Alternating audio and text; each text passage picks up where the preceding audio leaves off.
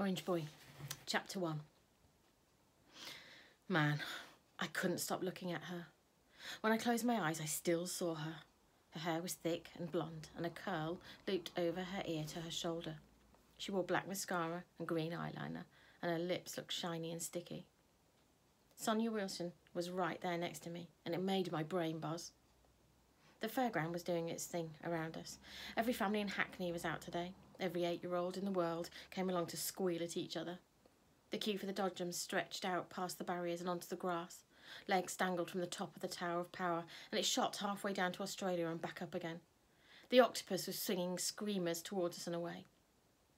All that noise was fighting with the music, and the music was fighting with itself. It was the usual crappy mashup. The Beatles mixed with Frank Sinatra, mixed with Michael Jackson but underneath was a bass beat thump, thump, thump like my heart. What if I reached over and touched Sonia's chest to see if her heart was pumping too? Damn, she slapped me from Hawaii to Hackney. I laughed. She looked around. What's so funny?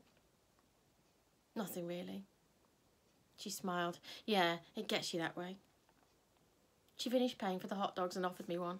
She squirted mustard and ketchup an S on mine, and two straight lines on hers.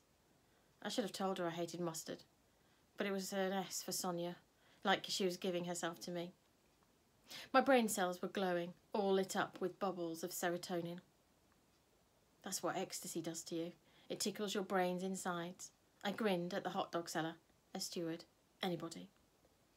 Sonia said, try it. I took a bite of hot dog and the claggy bread stuck to the roof of my mouth. You like? Hmm. I forced myself to swallow. A big lump of mustard dropped to the bottom of my stomach. Bread and pink sausage churning up together. My gut jumped, ready to seal itself shut. Sonia was looking at me, so I took another bite and she nodded her approval. My brain circuits were flashing like switchback lights. Better stuff in it now, she said. When the pill kicks in proper, you won't want nothing to eat. Except maybe me. I felt myself blush. She couldn't have meant that. Those South London girls use words differently. She grabbed my hand and I was grinning again. I must like I must look like Pac-Man. I wrapped my fingers around hers, not too tight or she'd feel them too sweaty. That must be the drugs again. We stood side by side looking across the fair. Could she see it too? The world, a bit too gold and glittery. I said, I think it's working. She shrugged. You only had a quarter mile on, but it's your first time, and the first time's always the best. Ah! Maybe I should have kept my mouth shut. I could have been like Yasia or the other wide mouths, if everything they said was true. I poked my tongue across the roof of my mouth. Should I have another drink? She rolled her eyes. You're all right. A quarter's just dust. It looked like I was heading across sad case country, so I took a deep, silent breath and put my arm around her shoulders. Not too much pressure, keeping it light. She didn't move away. Her arm stayed by my side. You're right, I said. This is better than revision.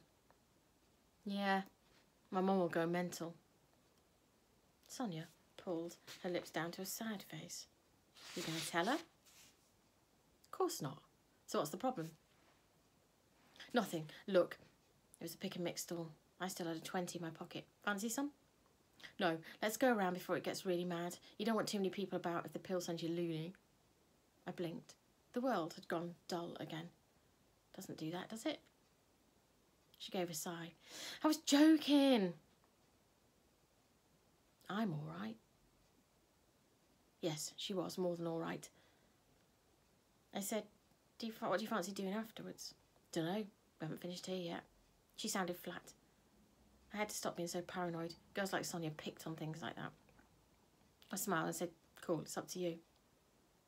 But she must have heard something in my voice. She wriggled out from under my arm and moved round so she was facing me.